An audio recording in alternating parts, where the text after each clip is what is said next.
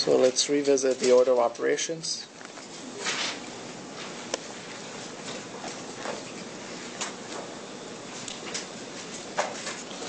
So I'm just going to work through an example here because you already know how to use the order of operations. The only thing we're going to look at here is we're going to talk about how to work with it when you have decimals. Um, so it's just we're just going to have to be careful about our, what we do. Um, so let's say we have the problem 20 and 6 hundredths minus 1 and 2 tenths cubed divided by 10 all over 2 hundredths. Okay, so according to the order of operations, what should I do first here? Exponents, right? So let's see, my exponent is 1.2 cubed. So I'm going to do that here on the side. So 1.2 cubed is the same thing as 1.2 times 1.2 times 1.2. What's 1.2 times 1.2? Let me do the first two first.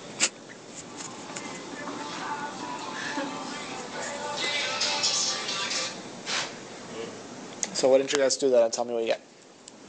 And then one more time, but what did you get for the first two? 1.44. Good. So the first two give you 1.44. Were you just going to say that, Jeremy? Okay. And then multiply it one more time times another point 1.2. Yeah. Do I need to line up decimals to multiply them? No, right? Because I'm just going to count decimal places. I do need to line them up to add or subtract. So keep that in mind. Okay, so I know 1.2 cubed is 1.728 because I did that right here. So I'm just going to rewrite my problem. 20 6 hundredths minus 1 and 2 tenths cube. Oops, I just did that part. Let me skip that. 20 and 6 hundredths minus 1.728 divided by 10 over 0.02. Okay, what do I do now?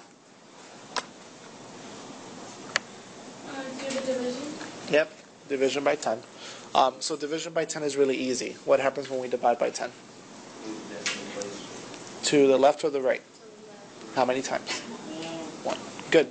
So this is going to become 20 and 6 hundredths minus 0.1728 over 0.02. Now what? Yes, subtraction. So I can do that here on the side.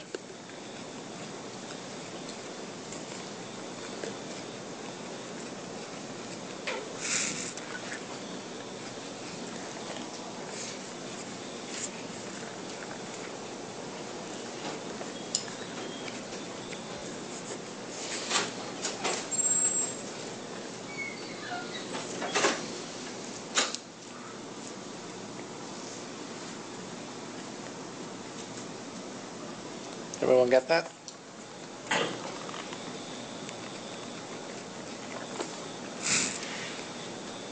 So it's 19.8872. And then after that, the only thing left to do is division. So I'm going to divide 19.8872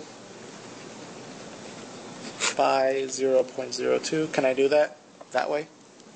Or do I need to change anything? Change it. Yeah. What do you have to change it to? Yeah, this number can't, the number, the divisor can't be a decimal, so I have to make it a whole number.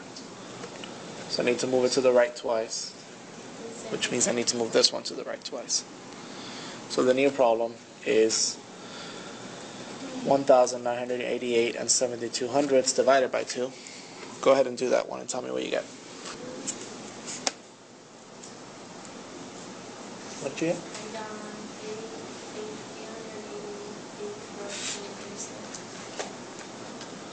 800?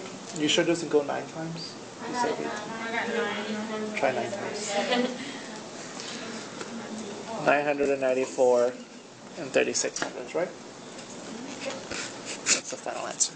So again, it's nothing really different. All of this is just decimals. So I wanted to work, work through a problem so you could see it.